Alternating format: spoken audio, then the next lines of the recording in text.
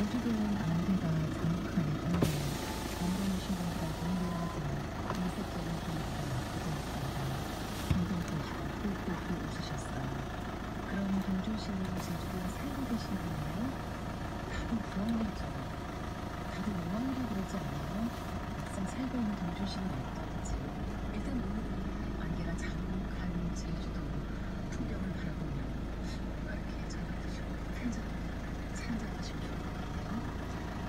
신문 시작할까요?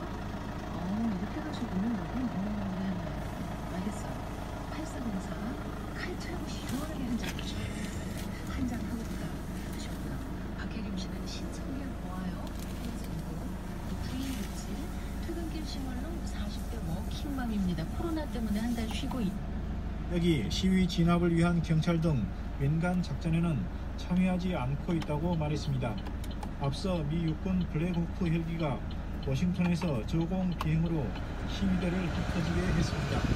이같이 자국민을 향한 군사력 사용에 대해서 마틴 덴프시 전 합참의장 등 퇴역 지휘관들은 미국은 전쟁터가 아니고 시민들은 적이 아니라며 군사력 사용의 부당성을 지적했습니다.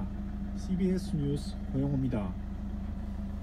더불어민주당이 공수처 법안 투표에서 기권한 금태섭 전 의원을 징계한 것을 두고 헌법적인 지적이 나오는데 당내 후폭풍이 가라앉지 않고 있습니다. 김기용 기자가 보도합니다. 민주당은 공수처 법안 처리가 강제 당론이었던 만큼 금태섭 전 의원에 대한 징계는 정당했다는 입장입니다. 하지만 당내에선 반발 기류가 적지 않게 감지되는 분위기입니다. 김혜영 최고위원은 오늘 최고위 회의에서 국회의원은 국가 이익을 우선해 양심에 따라 직무를 행한다는 헌법상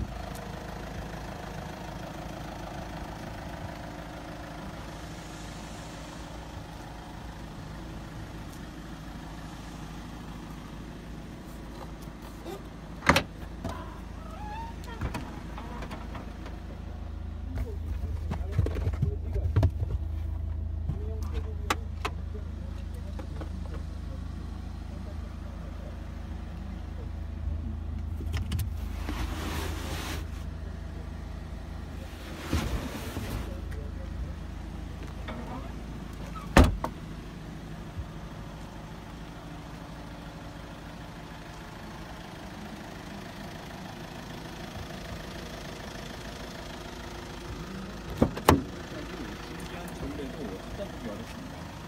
국회법대로 하자며 모래 개원을 밀어붙이고 있는 민주당이 정장 내부 순수 아들 인수라는 비판은 피해가기 어려울 것으로 보입니다. CBS 뉴스 김기용입니다. 미래통합당 김종인 비상대책위원장은 물질적 자유 극대화가 잠시 목표라며